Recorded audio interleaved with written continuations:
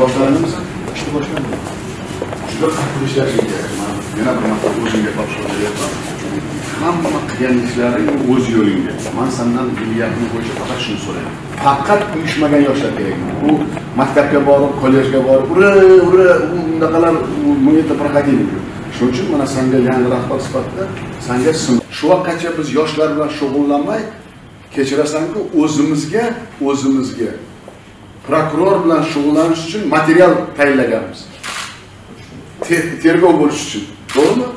Nimaga san u bilan shug'ullanmaganmiz? U narigi tomondan senga material bo'ldi. Manga u material kerak emas. U material o'ttiz yil manfaat bermadi millatga davlatga yoshlarga.